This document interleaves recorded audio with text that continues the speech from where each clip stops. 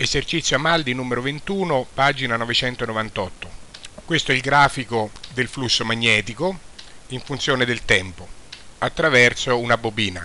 Disegna il grafico della tensione, in pratica la FEM, che si genera nella bobina e quante volte si inverte la corrente indotta. Sappiamo che per la legge di Faraday-Neumann-Henry-Lenz la FEM corrisponde alla rapidità di variazione del flusso magnetico cambiato di segno quindi prima dobbiamo disegnare la derivata di questa curva rossa che è il flusso magnetico e otteniamo questa curva grigia che è la sua derivata. Poi dobbiamo invertire questa curva grigia e otteniamo questa curva blu che è la FEM. E infine passiamo alla corrente elettrica. Cominciamo con la derivata del flusso. Troviamo subito i punti stazionari del flusso magnetico, cioè dove il flusso per un attimo non varia sono quelli a tangente orizzontale. Questo punto è un punto stazionario, quest'altro punto lo stesso, cioè ho sbagliato, volevo dire questo punto è stazionario perché si vede che lì il campo, il flusso magnetico per un attimo rimane costante. E poi sono stazionari i due punti estremi a 0 e a 20 millisecondi dove la curva del flusso magnetico si appiattisce e la sua derivata diventa 0. Quindi il flusso magnetico all'estremità di questo intervallo, 0 e 20 millisecondi, diventa una funzione costante. Lì perciò la derivata è 0, sia all'estremità che dove c'è il massimo relativo e il minimo relativo, cioè in questi due punti qua.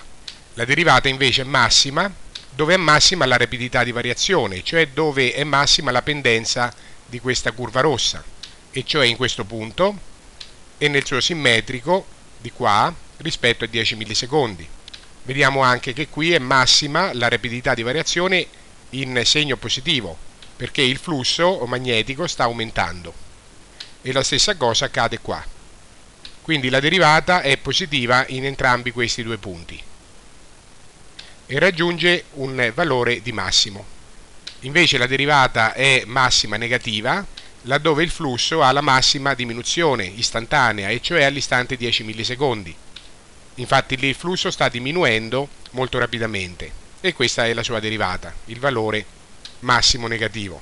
Vediamo anche che il flusso magnetico è una funzione dispari rispetto all'istante 10 millisecondi perché tutto quello che accade prima dei 10 millisecondi accade ribaltato dopo i 10 millisecondi. Invece la sua derivata è una funzione pari, simmetrica rispetto al tempo, all'istante di tempo 10 secondi. Ora ribaltiamo la funzione derivata e otteniamo la FEM, il cui grafico è questa curva blu. E infine troviamo la corrente elettrica dividendo la FEM per la resistenza del circuito. La, la corrente elettrica ha quindi lo stesso identico andamento della FEM ed è questa curva verde. Vediamo che la corrente è negativa, positiva e di nuovo negativa quindi si è invertita di segno tre volte, negativa, positiva, negativa.